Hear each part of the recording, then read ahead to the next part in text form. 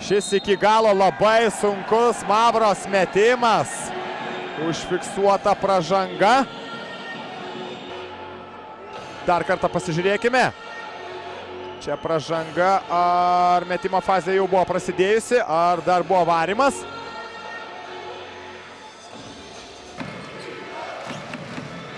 Milaknis yra taikliausias žalgirio tritaškininkas ir šiame sezone čia nesportinė pražanga.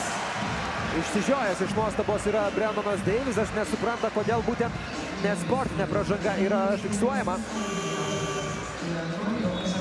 Žiūrime dar kartą. Čia Evaldas Kairys dar kartą, taip, žaidimas į veidą atrodo buvo fiksuotas. Na taip, manau, kad arbitrai yra teisūs. Jau nekartą matėme.